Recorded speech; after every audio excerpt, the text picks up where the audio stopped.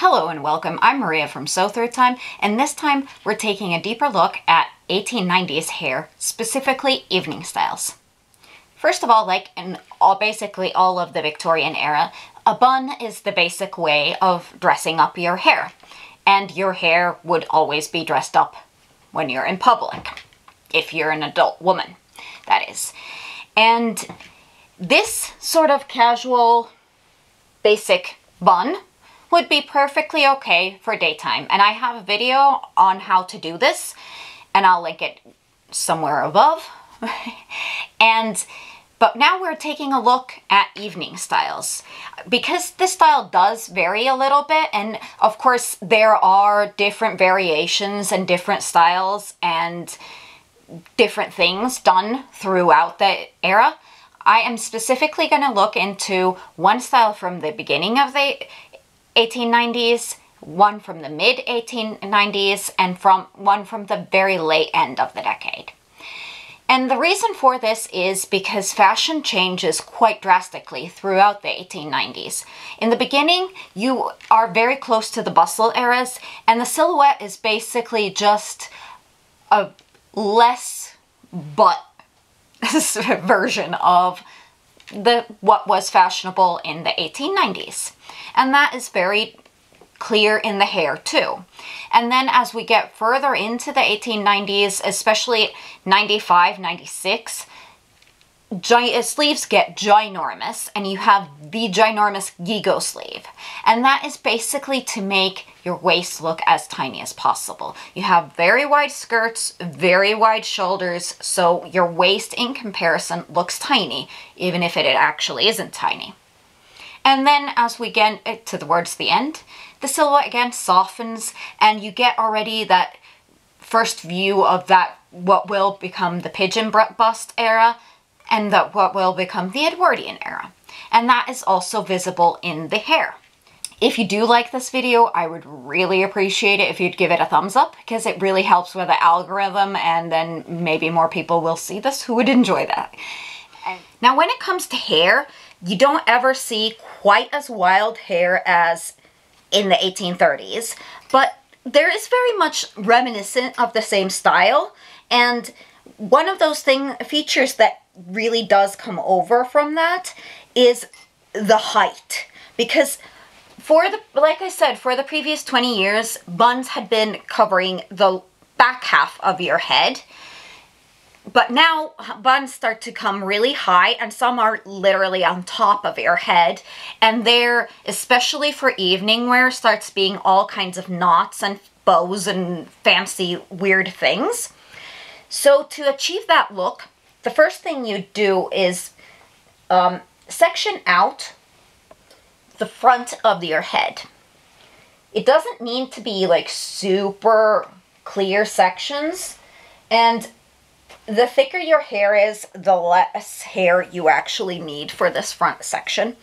I, because my hair is long, super long, I tend to just take a tiny bit on the side of my face and then of course my bangs because I have bangs but this works just fine without bangs or you could do, like false bangs and now this section goes up in a ponytail they didn't have the same kind of hair elastics as we do but I'm going to use a modern hair elastic that I apparently forgot to take, so I'll go get that, and then I'll come back with showing you how to curl this front bit. Okay, I use a curling iron with a fairly small barrel, but not like one of those really tiny ones, and I just curl my bangs.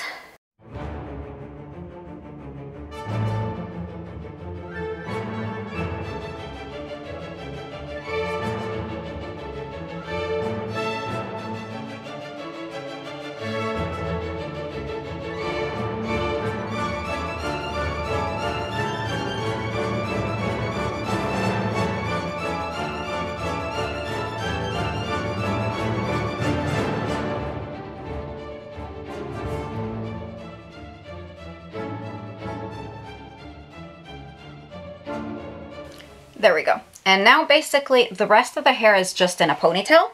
So what we do is, I am getting choked.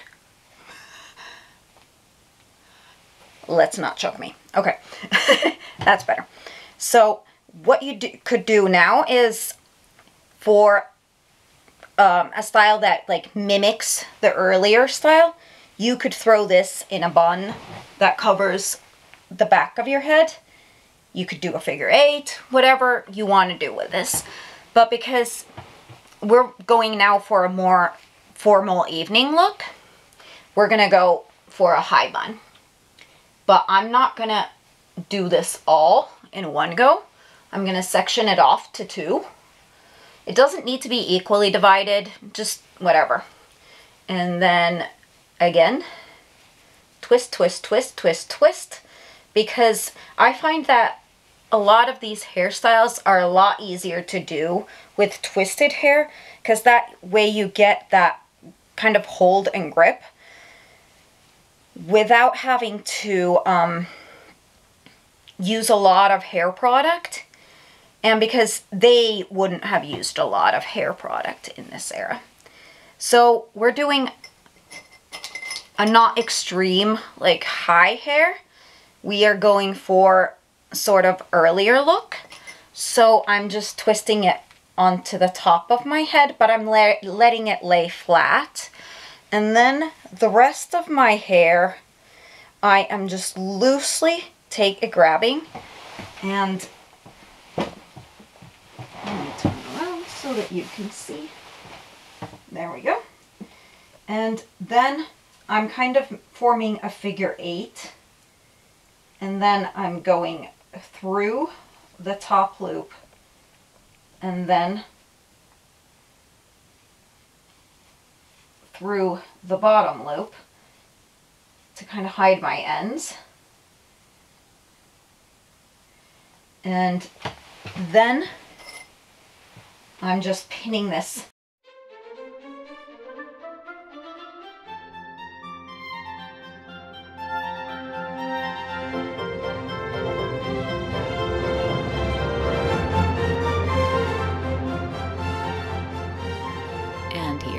finished early 1890s hair.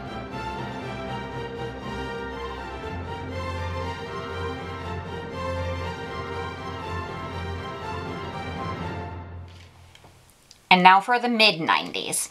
Since in fashion, the Gigot sleeve is a redo of the 1830s, the hair is kind of a redo of the 1830s too.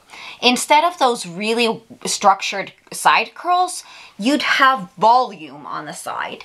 So the best way I have like figured out to do it, with my hair at least, is like flip my hair here in the front so that I kind of leave these like side flips and then I just lift the hair up again because like in the 1830s the top hair is very much in the middle of the head. And then again we twist it because that is really the easiest way to do these buns. And again like I said previously in the last hairdo again fuzz and frizz is uh, like the thing. It doesn't need to be and shouldn't be super neat because it is not what the fashion was. You don't want the hair to coil in around itself and you want to leave the end free. And now what we do is we make a knot and we gather the ends through, but we don't pull it all the way through. We leave a loop and then because my hair is too, a little too long, we'll tuck this in eventually. But first, before I do that, I want to make sure that I twirl it in a way that I don't accidentally end up making it too tight so that these sides stay loose and fuzzy. If your hair isn't this long, uh, you could use false hair for either this bit that goes around and you could just do a ponytail with like a flip, one of those like mom buns, or if your hair isn't even long enough for that, you can just put it on in a small ponytail in the middle and then just do all false hair around. False hair was you know, the normal way of doing hairstyles in this era because even though there was a trend for like extremely long hair like mine in the late Victorian era, most women still did not actually have extreme length hair.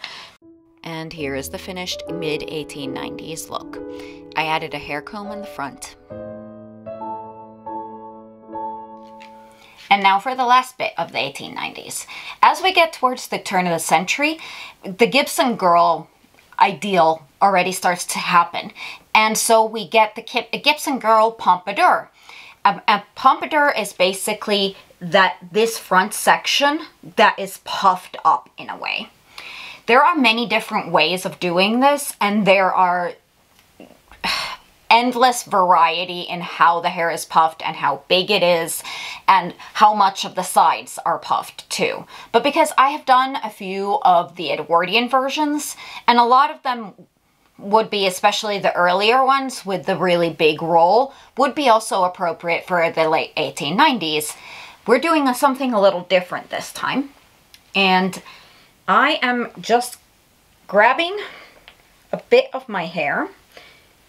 I don't want to take too much, and this is way too much, towards the sides. There. We want to take just the por top portion, and I don't want to take a very thick portion because my hair is so long and this is going to be rolled up, so then it, the roll would end up ridiculously big. If your hair isn't this thick, then you'd take a thicker portion to like give the roll a roll some volume. And then I just pin the roll down. I use bobby pins.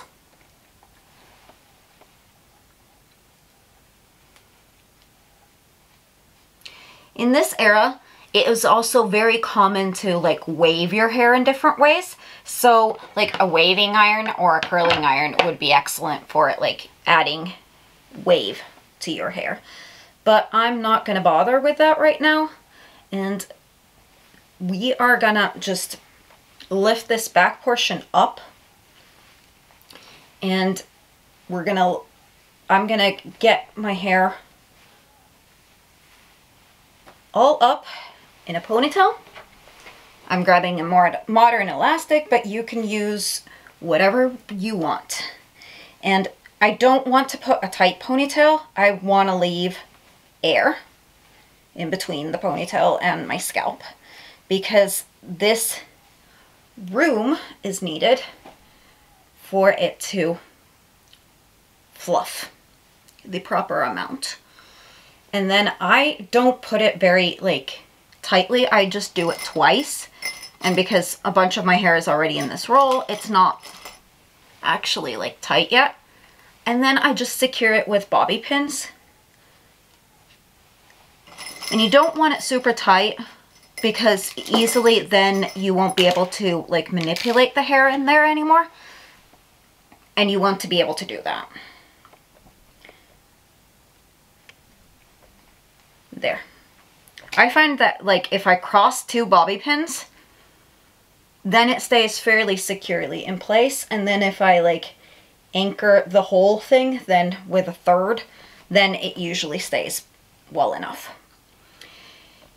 Now for this portion, you can twist it or turn it however you want because basically as long as it ends up in a bun. That's the main goal. And we don't want to add any more ridiculous height. So I will just kind of coil it around itself. And then just tuck in the ends.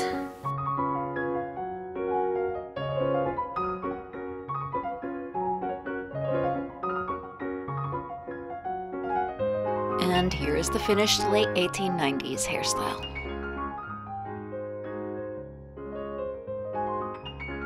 That's it for today, and I hope you enjoyed this, and I'll see you again next time. Bye!